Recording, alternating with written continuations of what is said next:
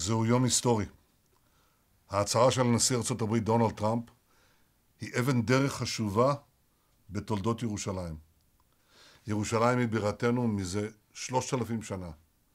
כאן התהלכו אבותינו, כאן עמד בית המקדש, כאן מלכו מלכי ישראל, כאן הטיפו נביאי ישראל.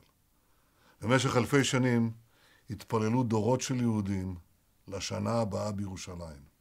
על נהרות בבל ובין חומות גטו ורשה, דורות דורות בכו וחלמו על ציון. לפני כ-70 שנה הגשמנו את התפילה והכיסופים, כששוב קבענו את ירושלים כבירתה של מדינת היהודים.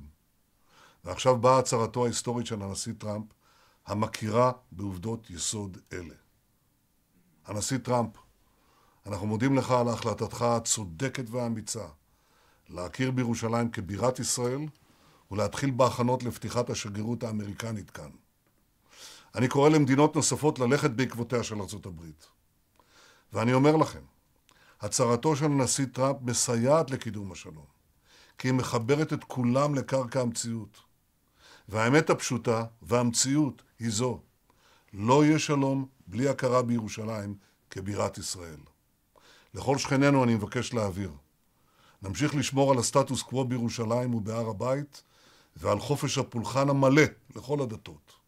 נמשיך להושיט יד לשלום לפלסטינים ולכל שכנינו. אדוני הנשיא, ההיסטוריה והעם היהודי תמיד יזכרו לך את החלטתך האמיצה ביום הזה. תודה לך.